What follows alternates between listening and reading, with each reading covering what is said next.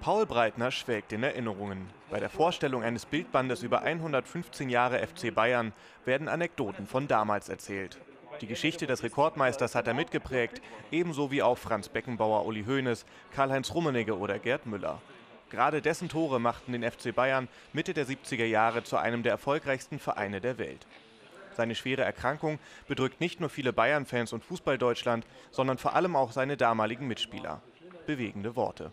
Wissen Sie, es äh, war für mich nicht der Schockmoment, wie für viele, die vor ein paar Tagen die Schlagzeilen gelesen haben und gesehen haben.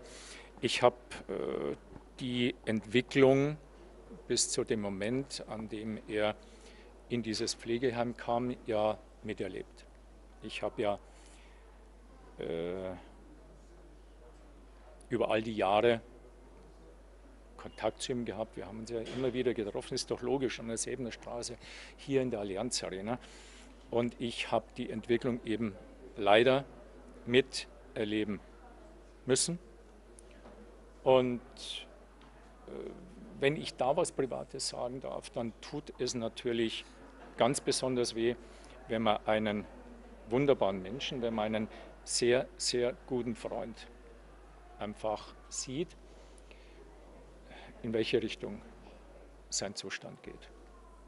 Das auf alle Fälle. Und, und äh, das, was ich vorhin über Gerd gesagt habe, ist etwas, was ich seit jeher verzapft habe, was ich seit jeher ausgesprochen habe, nämlich vor fünf Jahren, vor zehn Jahren, vor 20 Jahren, wenn jemand mich über den FC Bayern gefragt hat, wer ist der Wichtigste in der Geschichte, habe ich immer gesagt, der Gerd. Immer der Gerd.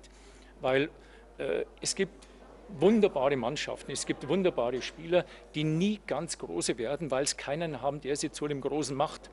Ohne Gerd Müller wäre ich heute nicht hier. Ohne Gerd Müller wäre nicht nur die Geschichte des FC Bayern, egal in welche andere Richtung, gelaufen, es wären auch persönliche Schicksale, persönliche Entwicklungen, das Leben vieler, die mit ihm gespielt haben oder die Fußball gespielt haben, anders gelaufen, wenn er eben nicht der Gerd Müller gewesen wäre, wie wir ihn erleben durften, der eben alle diese entscheidenden Tore erzielt hat, um uns zu dem zu machen, was wir sind.